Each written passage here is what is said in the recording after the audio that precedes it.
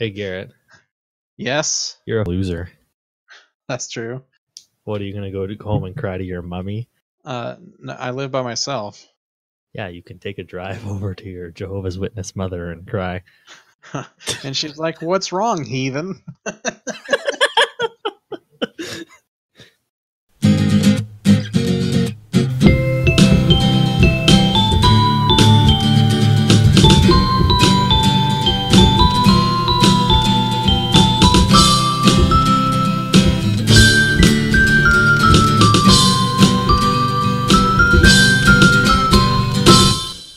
Welcome back to another episode of the Digital Drive-In Podcast, where we talk about our favorite Where movies and what we love about them and why we love them so so very very much. My name is Alex. I'm joined as always by my very very mummified and disgusting co-host Garrett, Hmm. who doesn't have a tongue. And today we are taking a look at a little film from 1999 called The Mummy, starring Brendan Fraser, directed by Stephen Sommers. Isn't that right, Garrett? That's what I hear. Uh, what is this movie about? Why did we choose it?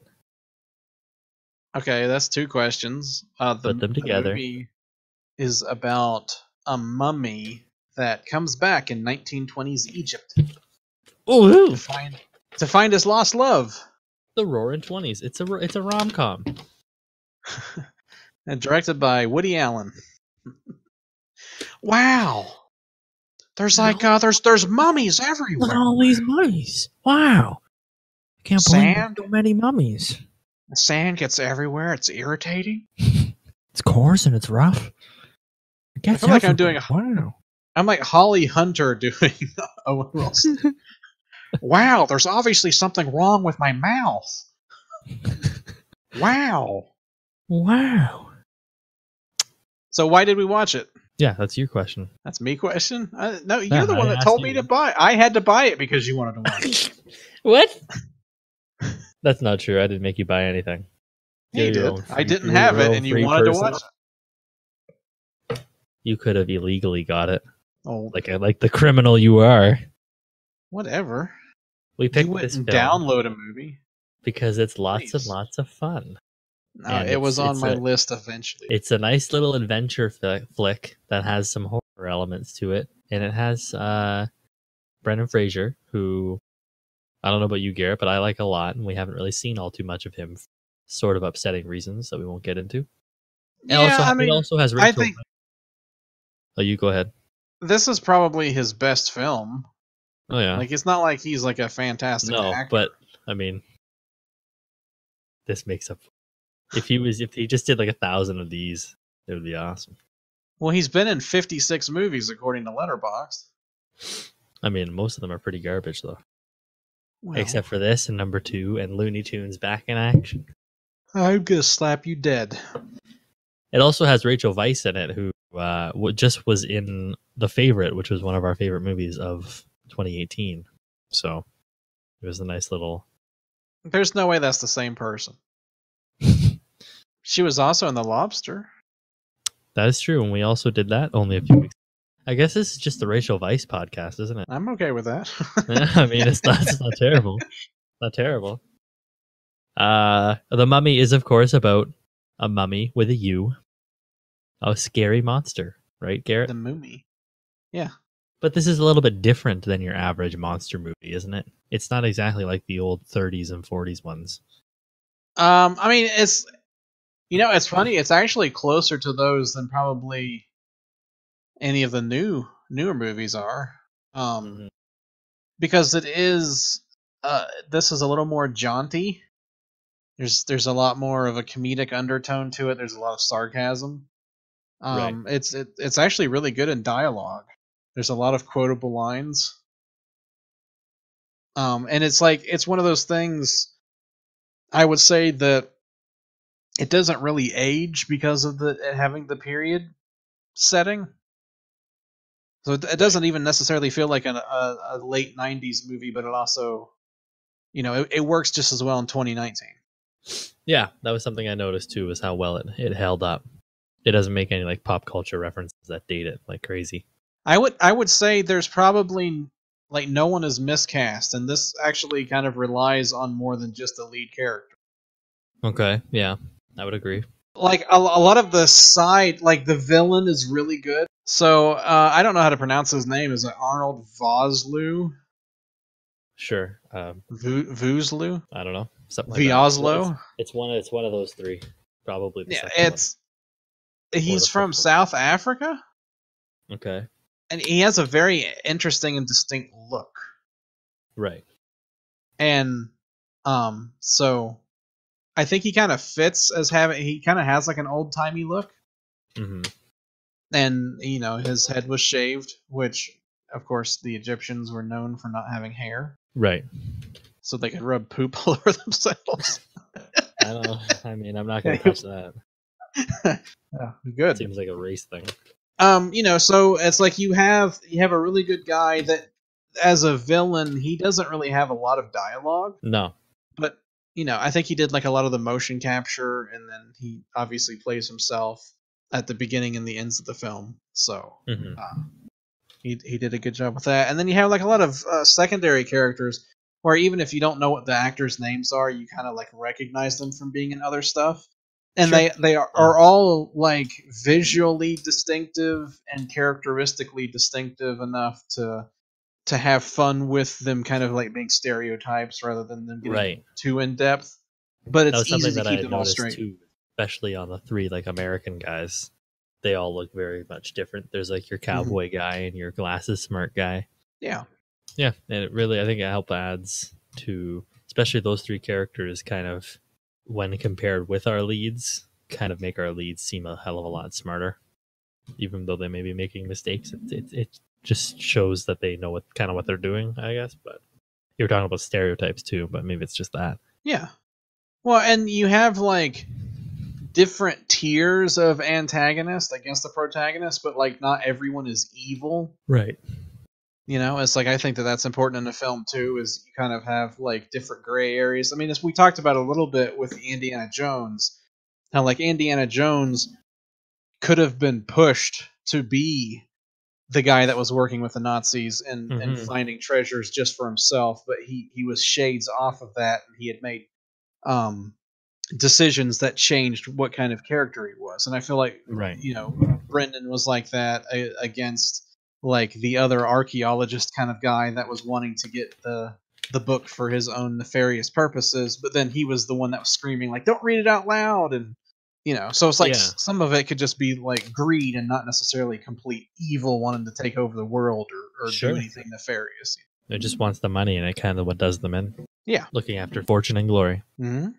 And I like uh speaking of some of the side characters, you have ones I guess if those are the smaller tiered, there's like the mid tiers like Benny, Mhm. who's fucking hysterical. You just play that that actor and I don't know who it is. Kevin J. O'Connor. Right. He plays that sort of uh slimy rat role so incredibly well. Yeah, he's been in a couple Paul Thomas Anderson films. Oh yeah. But you can never kind of tell what side he's on when bouncing around the screen. It's, it's always uh it's it's fun when going back and watching it. Uh again, seeing Benny sort of fuck around with everybody. Mm-hmm. Yeah, it's awesome. He was also in G.I. Joe at The Rise of Cobra, which was also directed by Stevens And Van Helsing too. Yep, Van Helsing's actually decent. Not I'd have to watch it again. I don't remember it being very good. kind of weird. It wasn't. It's not great. I think you just like Kate Beckinsale. Sure. I am Pete Davidson after all. Weird, eh? Crazy. No, I meant Pete Beckinsdale. Pete Beckinsdale pretty soon. Pete Davidson, you know, I understand what you're saying. but must have a massive dang. It's not because he has money, that's for sure. Excuse me while I whip this out. Where are all the white women at? Hey, Bob. What about our lead characters, though, Garrett? We kind of have two main Brendan? leads and a, and a supporting lead, I guess. I don't know. But what do you think about their characters themselves and how they how they fit in the movie? yeah, Brendan I and mean, Rachel. I mean, I know you like Brendan because he's Canadian. sure. no, it's like he's he's sort of almost like I mean, he's like an adventurer. He's almost like a, like a football player. He's kind of jockey. You know, he he has but he's charismatic. It's like he's he's funny. Mhm. he's able to pull off the character pretty well. You know, I mean, in a, in a couple aspects, he kind of Harrison Ford's a, a bit, where like you could almost Right. see him being a, a bit of a Han Solo, Indiana Jones type.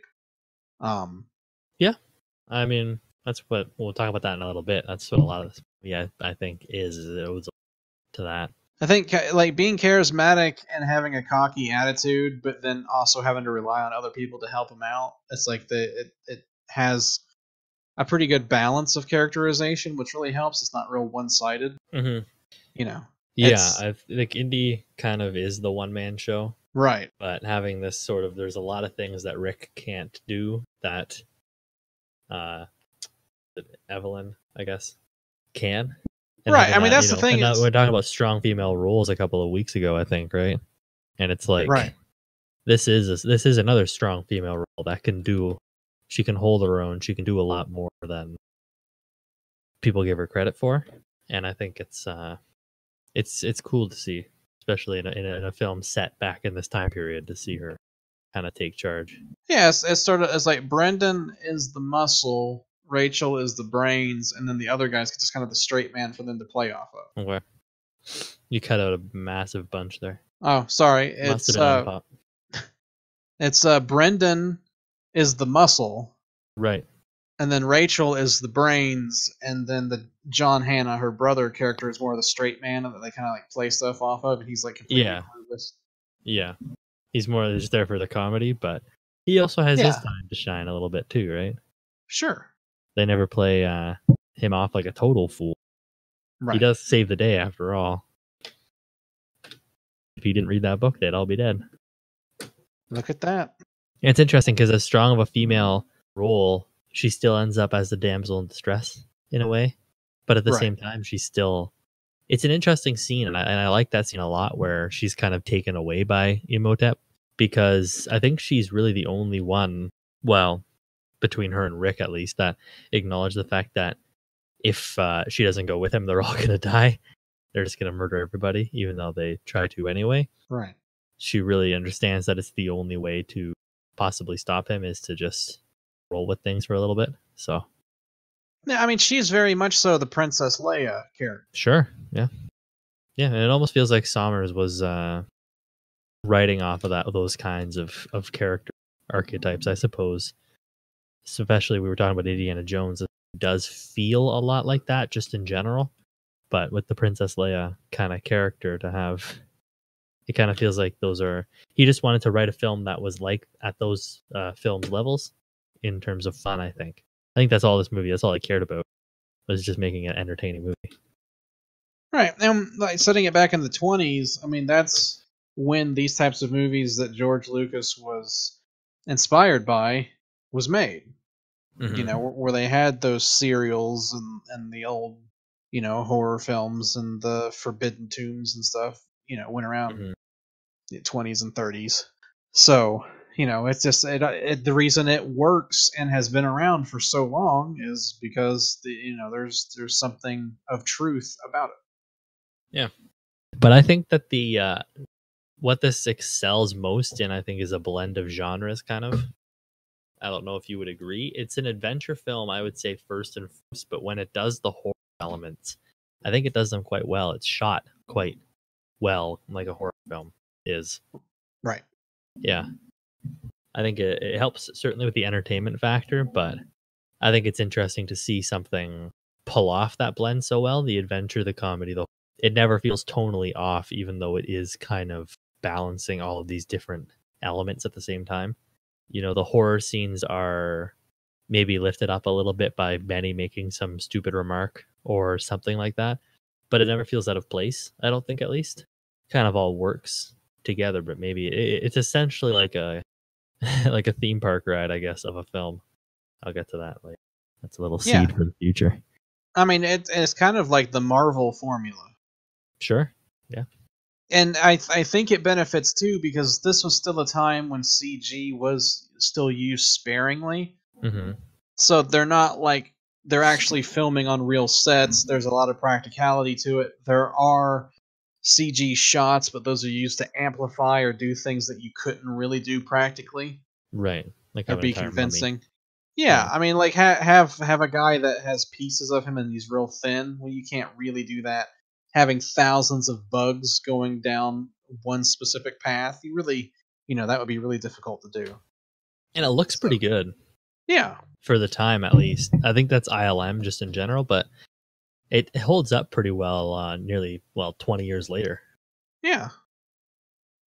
I mean, it, it's like it because of the fact it doesn't take itself too serious and you're having fun with it. It doesn't stick out as much as something that's trying to fool you. hmm This is just trying to get a specific idea across, and I think it does that. So Right. Gosh, did we watch it too uh, too much in advance? It's hard to talk about. Um. Well, it's uh, the other thing that's hard to talk about is it's not wholly original. Right. So you end up like comparing it to other things that are fun. Like, you know, it it does a good mix of CG and practical, just like Jurassic Park that we talked about. right. Yeah. And it, and it does a really good uh, mix of uh, the guy being dashing and meat-headed, just like Indiana Jones, which was the first episode we talked about. right. Yeah. You know, so it's like you don't want to go back and do too many of the exact same things, but it's really fucking fun. Right. And it's like, how do you convey? It's almost like doing a, a, a comedy. That was a really good comedy. Do you want to just repeat the jokes? Yeah, which is you I know. mean that's why we try well we don't do comedies often here. Right. They very rarely have that kind of substance to talk about without like you said just repeating the jokes, but I think it's kind of a testament to this film then that it can in a sense borrow so many elements but also make itself kind of original and tell a story in an engaging and exciting way without having you feel like you've seen it before even though you kind of have. right. Yeah. That it's that's the thing. It's not like, well, I've already seen this before. There's no use watching this. It's Right. like it's it's a fun. It's almost like a nostalgia trip. It's like seeing it again after so many years. I'm still like, yeah, this is really fun. I still really like it. It's Yeah. it's just a good movie to put on. It puts you in a good mood. It's like we said, even though there was some horrific scenes, there's perilous scenes, characters die, but you're still you're having a fun time through the whole thing, and that's like extremely difficult to pull off. Right. And you're saying nostalgia for me, I don't know if I said it while we were watching it, but I kind of grew up with this movie too.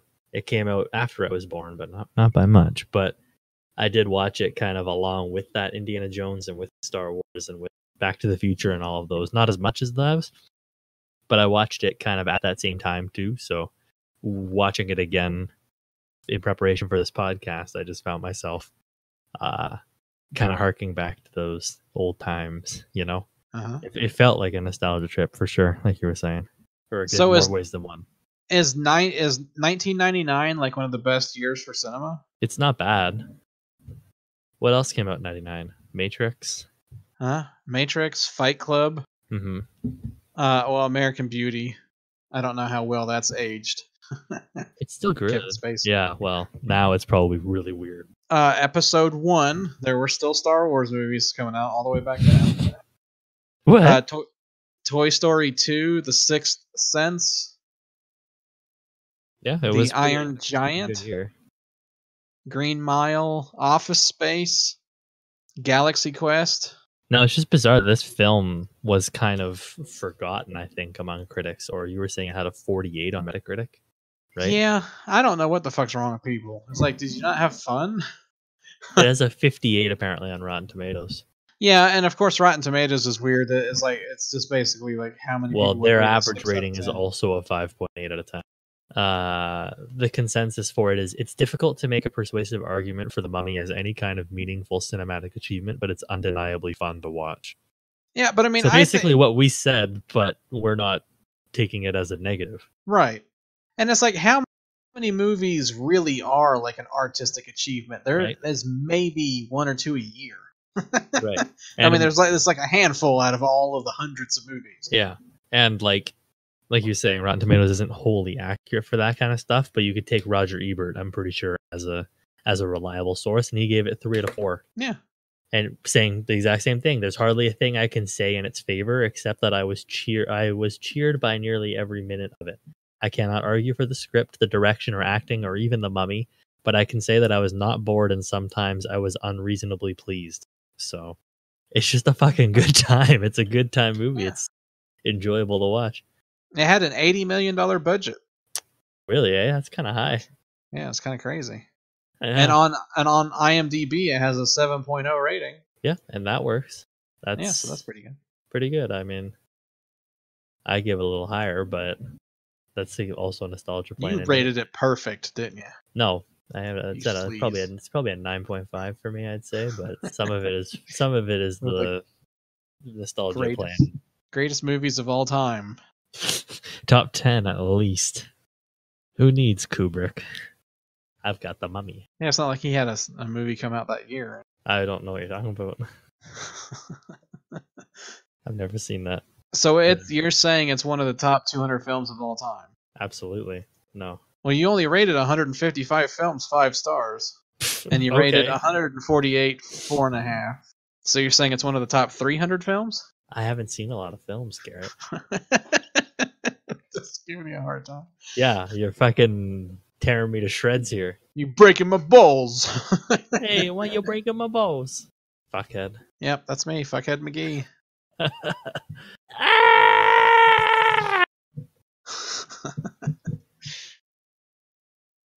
But I would say it is one of the most entertaining films of Especially with it not being a straight comedy.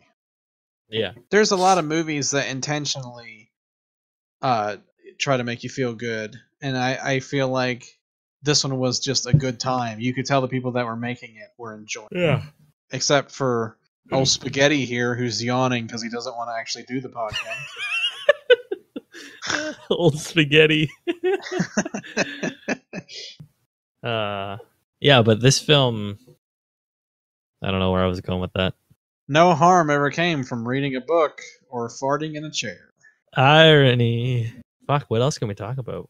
You want to talk about pop music some of the the scary elements? Like how fucking awful would it be to have a little bug crawl up your leg and dig into your skin and like crawl up through your skin and smash into your way into its brain? Well uh, because i don't live in australia i specifically kept myself out of that area Yeah, but whoa, could you imagine though? no i can't imagine that would be sick Would it be horrifying? Weren't it, you it would be terrified? horrible It would be horrible. i mean uh, could you imagine losing your eyes and then the person coming back and sucking the rest of your stuff out Fucking the rest of my what? yeah fish big enough to eat your whole Ew. I love that though. I love how he uh slowly regenerates. Like he he Yeah. absorbs the lifeblood out of one person and like you see him kind of come back a little bit more from his decayed state towards his normal one. Yeah, it's it's a good storytelling device. It's the ticking clock where you you know there's a limited amount and he has to do it within a certain time. Right. Once he once he fills up full, you'll probably he'll probably kill you. Yeah, I mean it's it's almost like a video game mechanic. Sure, yeah. It is kind of like a big video game boss fight at the end, too. Uh huh. See now, now who's fucking bored over there? Fucking Doctor Jacobo Boobie Boobie. I was uh, thinking about the guys from Uncharted should do it. Oh right, Maybe we could get gosh. Bioware because they'll have nothing to do here shortly. oh do do do do do. Hey, speaking of which, did you see that they had a thing where the um, damage done by the gun, the Yes. entry gun? Oh, that was hilarious. yes, I can't Okay. even believe that. That's horrible. I like I like when he's when the guy's like, "What what do you want us to do? What are we gonna do?" And he's like, "I'll go get help. Wait here," and jumps over the boat. yeah, yeah, yeah. It's fucking hilarious. There's there's a lot of really good. It's just it's fun. Yeah. It's like, hey, O'Connell, looks like we got all the horses. Hey, Benny, looks like you're on the wrong side of the river. Bitch. You should have added the bitch at the end. Was was he Jesse from Breaking Bad? Yep. Yep. Yeah, there's a lot of good comedy bits in this movie, though. I think it's it's quite hilarious. And the Blu-ray looks nice too. I agree. It was my first time watching it on Blu-ray, and I thought that it was a it, it was it held up pretty well. And we talked about it. the The lighting is like really well Oh done. yeah, yeah, yeah. yeah. We'll just talk about the cinematography in general because I thought it was actually shockingly good. Yeah, I was actually surprised because I, I just I, I guess I didn't remember paying attention to it. Right. But yeah, this the way the shots and everything were set up and, and how natural everything looked. It's just Yeah. it's really fantastic. Yeah, and the lighting, like you were saying, when they when they're walking in the dark with torches, it's it's gorgeous. Like it almost feels like they just shot at natural light, but I don't think they did. Did we ever find out who it was that did the cinematography? Seems like we looked that up. Dean Cundey. No. No.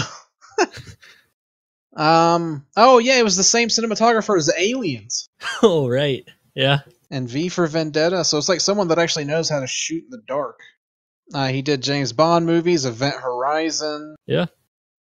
He worked He knows with how to do Ridley his, Scott. his scary bits. So Oh, and The Princess Bride.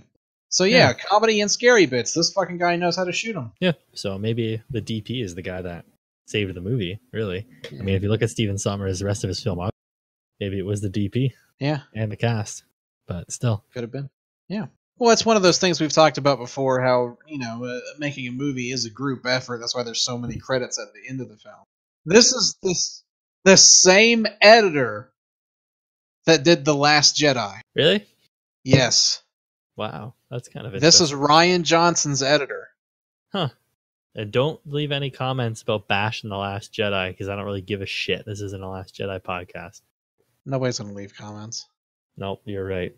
Nobody's even But if you're hear it. listening, please leave a comment. Speaking of Game of Thrones, man, that trailer was fucking awesome. Right? it was really, really fucking good. I mean, this guy's all he's done it though, editing. I mean, the mummy he edited, that was pretty good.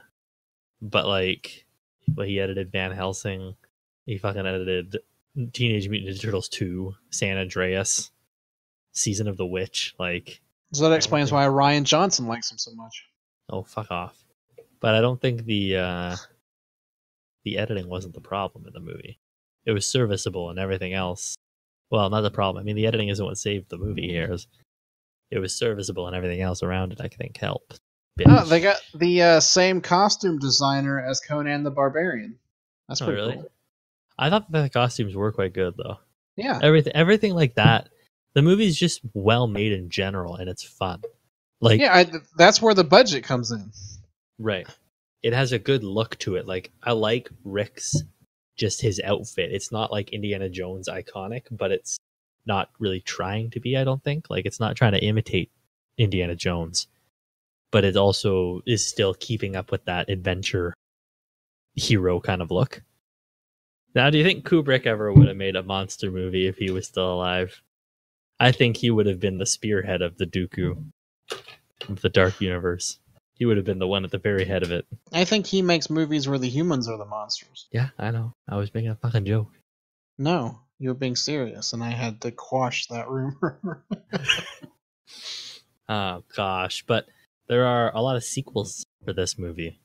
Well, there's two sequels for this movie, but there it technically are a lot of sequels for this movie if you think about its spin-offs, Garrett. you don't say. Because you you don't remember the Mummy Returns all that much, right? Or the Mummy Three. That's the well. I didn't watch the Mummy three.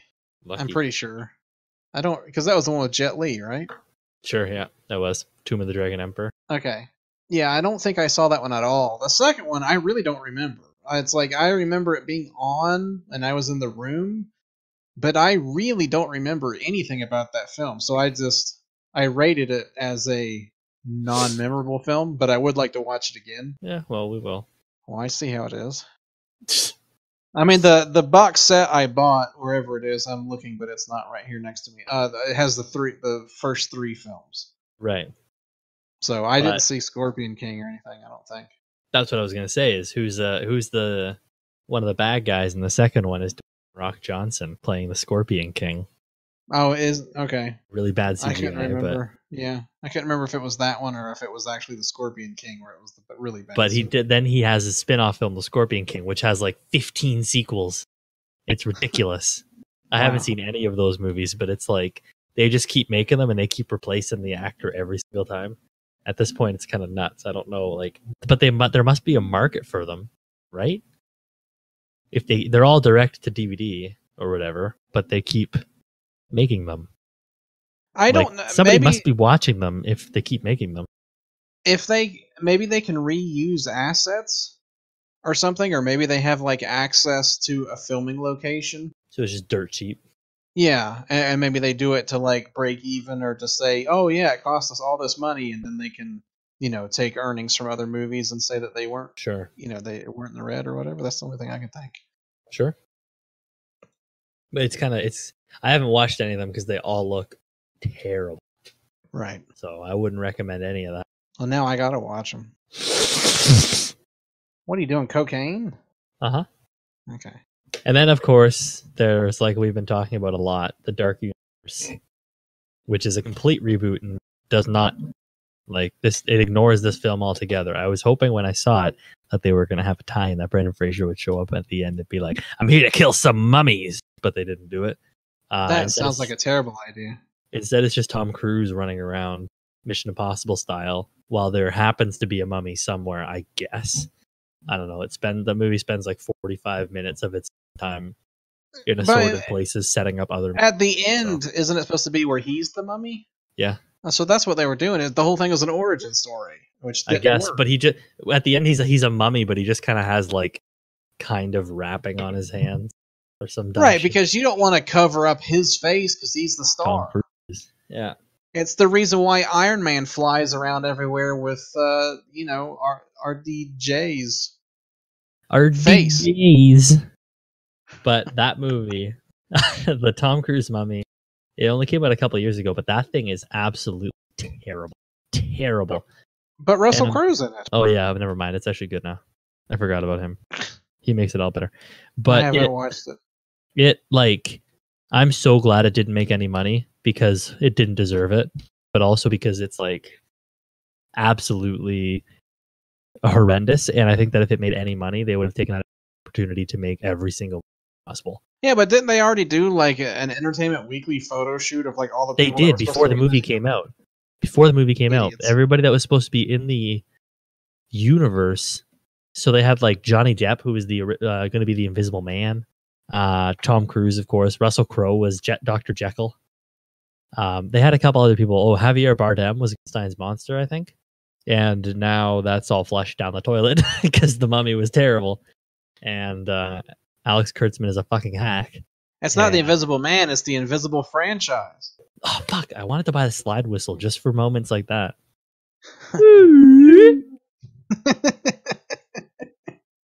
But um, oh no!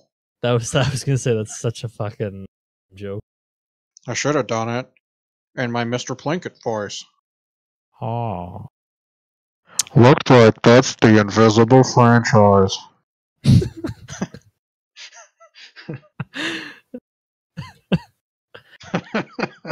or you just go. that was almost Jared Leto's Joker. that's the Ah, E um, Ah, ah, I'm gonna make this pencil uh, disappear. Uh, disappear. Let's not blow things out of proportion. You think you can just steal from us? Yes. he looks like a squealer. Hi. I'm like a little lost dog. I wouldn't know what to do with one if I caught it. I would just do. Poor choice of words. Let's put a smile on that face. I'm an edge lord. I OD'd on prescription drugs. Let's do an AMA on 8chan. Oh, God. Thanks, THQ. wow. Wow. Anyway, the Dooku is dead, and they uh, so dead that they are doing a movie. What movie is it? I forget. But they threw it over to Blumhouse now, did they not? Or they're know. they're following the Blumhouse model. They're now going to make a remake of a horror movie, a Universal monster movie, low budget, straight horror. So we can hope for the best that it's going to end up being a decent kind of not a not a Marvel shared universe, but just assorted monster horror films. Because I'm totally down for that monster related horror films. Yeah, basically. But like I don't know how they thought it was a good idea to just to have an entire franchise ready to go and then the movie be fucking like bad, right? Iron Man wasn't thinking about going anywhere until it was a success. They had that little end credits tag, but nobody stayed till the end of the credits and nobody knew what that meant. They didn't set things up really until Iron Man 2. But to have a photo shoot with all of your actors before the movie even comes out is ridiculous. It's such a stupid idea. But I don't know. I mean, Universal tried to start a franchise with Dracula Untold in 2013 as well, but it failed. So Whoops. maybe they should just work on doing decent movies rather than shitty ideas. right, but whatever. I mean, if if they were to reboot the Mummy again, don't even have to bring him back, but just do it in the style of this. Like have it just be fun and exciting. That's it. Period. It would people would love it. But when you make it a tonally incoherent mess, like the 2017 one, that spends way too much time trying to set up other films than it's than just telling its own story, it's pointless. It's it's it's ridiculous. The problem is, in order for it to make back the amount of money that they spend on it, that has to be cookie cutter because they won't actually take any chances. I know. But I don't know. And like look at something like Mission Impossible Fallout, right? It's an established franchise, granted, but Yeah, It but did very well. Budget on that thing. I don't know, probably a hundred million. You wouldn't need to give any more than that to a mummy. Yeah, but see, the thing is, I bet Mission Impossible was probably cheaper because of how much practical. Mission Impossible Fallout's budget was 178 million dollars. Right. So if they would have done everything with CG, yeah, but it would have been three hundred million. Sure, but like, but you could. They made this movie for 80 million, right? Why can't you just make it for 150 now? Call it a day. But nobody's gonna see that. You're right. It has to be cookie cutter. But I don't know. Get a fun young star in it. Draw in the crowds. But I'm not a movie executive, right? Whatever. So we're done with sequels and remakes to this. Probably they're not gonna have any more for it. It's a dead franchise. They're going to slowly build up now, like I said. But it's unfortunate because they lost that fun. They could have had an Indiana Jones esque franchise, and they tried. The second one came out in 2001, which isn't very long after the first one. Maybe it didn't make m- enough money to justify a third one or something. But, uh, you know, they tried to, well, they did a third one later, much later. It was like seven years, eight years later without the director, without Rachel Weisz, because she couldn't come back. So they just said, "Fuck it, we'll do it anyway." It was the th- the third point was just people who didn't give a shit, and it flopped and it failed. So they just canceled it altogether, and then eventually they reboot it because Tom Cruise wants to do it. And they have a stagnant property, not doing anything, I guess. But it's just it's miserable. It sucks. When we could have this fun action adventure franchise, and maybe it's just the adventure fan in me that wants more of this fucking shit it's it's unfortunate we don't get these kinds of things. We're we're subjected to cookie cutter crap right? It's ridiculous. What happened to the days of like f- just generally fun movies making back their budgets or whatever or justifying justifiably being made? Why where did that go? Why does everything need to be a universe and why does everything need to be cookie cutter? It really makes because no that's sense. what's successful right now. right but it's yeah it's, It's, just that they're risk adverse because of the amount of money. And then it's like the thing too, I mean, the Mummy franchise, or even if you just take this film, wasn't based on the actual mummy. I mean, it wasn't everyone didn't go there to see the Egyptian guy be a mummy. He was barely even a mummy yet. right It was mostly like the guy who had like he was barely he was slowly decomposing and he was from Egypt. It wasn't like he spent the entire movie like actually wrapped in bandages. Sure. Well, I mean, So- they did what they needed to do to tell a fun story, and it works. Right. You know, so I I think it's difficult on on these that are like villain centric. Even the new Halloween movie, like Mike Myers doesn't really push much of the plot along. Right. Like almost all of it is either the humans that he's coming after or the the people that are taking care of him at the facility. It's like that's Yeah. you kind of follow everything through the humans, even though he's supposed to be the main character. Right. Um, so you'd actually have to have someone really good working on the script, and then you'd have to. It, it has to be a perfect storm, because you can have a really good script and then have a terrible movie with li- very little budget, and then people will go and they'll be disappointed that it's not more action centric and there's not bigger set pieces. Or you can do big set pieces, but then it, it comes at the cost of uh, you know having characterization and doing anything fun with the people or the actors or maybe you get really good actors, but there's really not anything for them in the script to chew.